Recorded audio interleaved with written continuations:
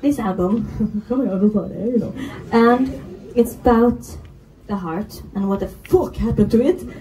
Because uh, I think something is very wrong, and I think you agree. Something is very right with the world, lots of beauty, but Jesus Christ, something is really wrong with the world. We don't see each other. We don't understand each other. We aren't open to that we can be different. We are so, we do so much weird stuff. yeah.